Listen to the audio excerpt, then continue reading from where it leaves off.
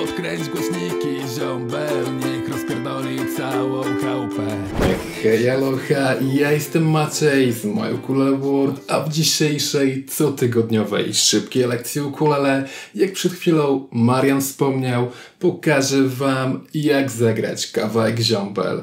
Będziemy potrzebować zaledwie czterech podstawowych akordów i jednego najprostszego ogniskowego bicia. Czyli tak samo jak w przypadku wszystkich piosenek Lay Me Pool. Zaczniemy może od naszych akordów. Naszym pierwszym akordem potrzebnym do zagrania tego kawałka jest to Amol. Dociskamy tylko i wyłącznie strunę czwartą na progu drugim. Drugi akord to F-dur. Struna druga, próg pierwszy i struna czwarta, próg drugi. Trzeci to C-dur. Chyba nie muszę nikomu przedstawiać, dociskamy tylko i wyłącznie strunę pierwszą na progu trzecim. I nasz ostatni akord G-dur. Łapiemy go identycznie jak gitarowe D, czyli struna pierwsza, próg drugi, struna druga, próg trzeci i struna trzecia, próg drugi.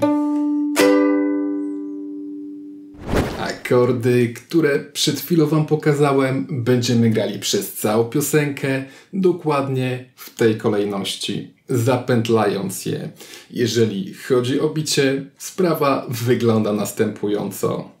Na każdym z akordów struny będziemy uderzać dwukrotnie od góry do dołu, dwukrotnie od dołu do góry, od góry do dołu i od dołu do góry.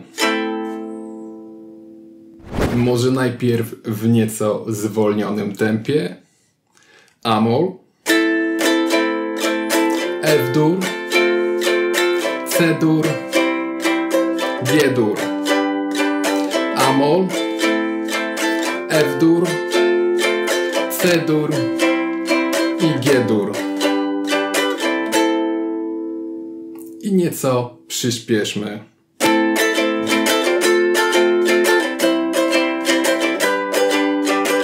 Pijaństwo na fejsie, ło, zaczepiłeś byłą dziewczynę.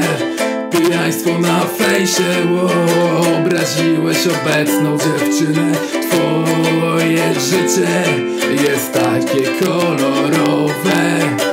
Właśnie kupiłeś na Allegro mongolską krowę nic trudnego, prawda? Jeżeli chcielibyście zagrać to w wersji elektrycznej, podpinając swoje ukulele do wzmacniacza, to wszystkie te akordy przerabiacie na akordy z piątkami, czyli A5, F5, C5 oraz G5. Bicie jest takie samo. Dodajecie przesteru i jazda.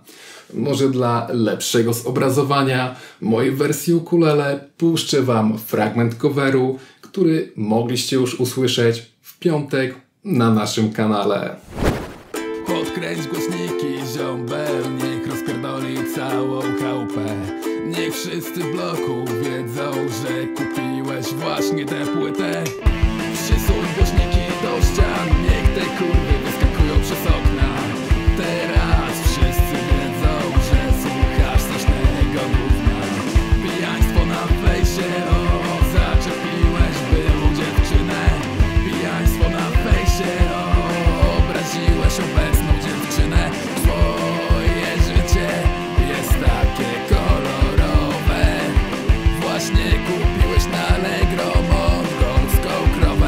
To by było wszystko, co przygotowałem dla Was na dziś. Jeżeli dotrwaliście do końca, koniecznie napiszcie poniżej w komentarzach wolę Lejnipu niż komę. Jeżeli tego typu tutorial Was zainteresował i chcecie więcej takich lekcji ukulele, zostawcie łapkę w górę, to motywuje do działania. Wpadnijcie także na nasze społecznościówki, a w szczególności na prężnie rozwijającą się grupkę Ukulele Maniacy.